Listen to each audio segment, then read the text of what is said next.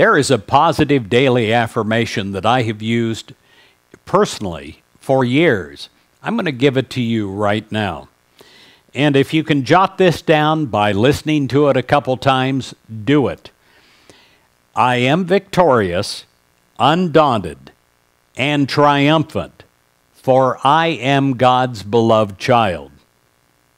I am victorious, undaunted, and triumphant, for I am God's beloved child.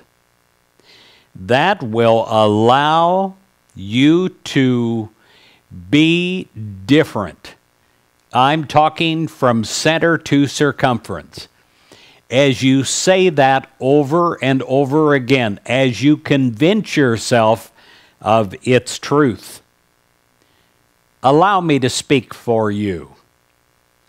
I know that all good is available to me, for I am God's beloved child. And I turn to God in faith and in trust. I am victorious, undaunted, triumph over every lack takes place in my life. Every limitation, every adverse appearance, every negative situation. I know that of myself I can do nothing, but there is within me a power God given to do all things. And I allow this God given power, the very power of God, to flow in and through me. And the work is completed with perfect results. I have energy to spare, for God is the strength of my mind and my body. Feels good, doesn't it? It is the absolute truth of God working through you.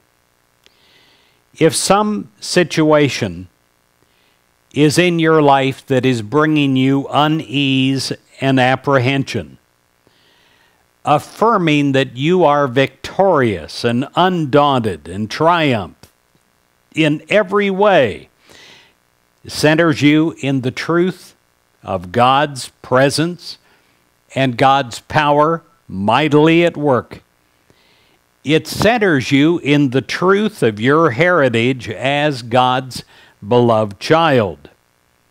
It says in 1 Chronicles 29, verse 12, In thy hand are power and might, and in thy hand it is to make great, and to give strength to all. Well, let's accept the power and might of God today in our own life, in our own body, in our own mind.